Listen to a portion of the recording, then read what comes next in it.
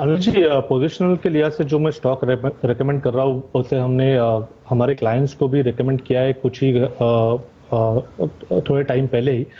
जिस तरीके से के सी इंटरनेशनल में एक ब्रेकआउट हुआ है, मुझे लग रहा है काफ़ी क्लासिक फॉर्मेशन है।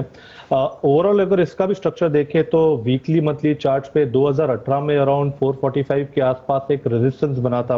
वो पर्टिकुलर रेजिस्टेंस इसने मार्च 2021 में एक काफ़ी अच्छे डायनामिक मूव से निकाला था अराउंड 480 के आसपास के स्विंग बने थे। पर उसके बाद जो पुल बैक हुआ, वो काफ़ी हेल्दी था उस पुल बैक में एक अच्छा कंसोलिडेशन नज़र आया था। सो जिस तरीके से ये कॉन्ट्रैक्शन कंसोलिडेशन था लगभग एक ट्रायंगुलर फॉर्मेशन के शेप में हुआ था एंड जिस तरीके से वापस इस पर्टिकुलर कंसोलिडेशन से स्टॉक निकल रहा है तो मुझे लग रहा है काफ़ी सस्टेनेबल अपमूव यहाँ पर नज़र आ सकती है अगले कुछ हफ्तों के लिए। तो जिस तरीके से स्ट्रक्चर है, मुझे लग रहा है अराउंड 520 के आसपास के स्विंग ज़रूर बन सकते हैं। स्टॉप लॉस आपको लगाना है अराउंड 420 का on a weekly closing basis around 450 तक खरीदारी करने की सलाह होगी।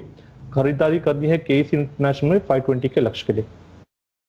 अनुज जी पोजिशनल के लिहाज से जो मैं स्टॉक रिकमेंड कर रहा हूँ, उसे हमने हमारे क्लाइंट्स को भी रिकमेंड किया है कुछ ही थोड़े टाइम